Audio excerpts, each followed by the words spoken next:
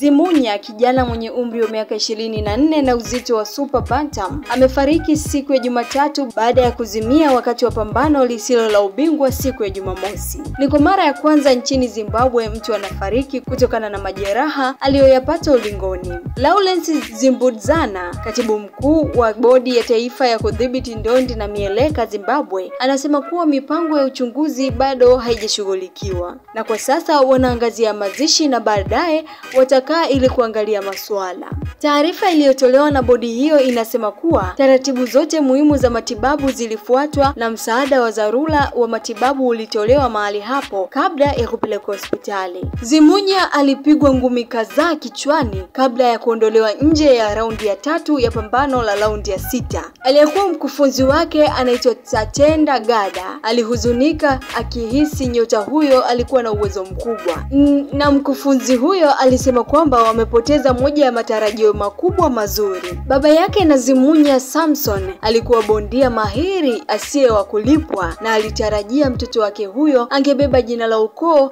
na kuwa bingwa. Ndondi ilikuwa imerejea Zimbabwe baada ya vizuizi vya kupambana na janga la korona kulegezwa. Endelea kutazama Spin Tanzania, bonyeza hayo maandishi mekundu yaliyoandikwa subscribe na kengele ili kupata taarifa zaidi.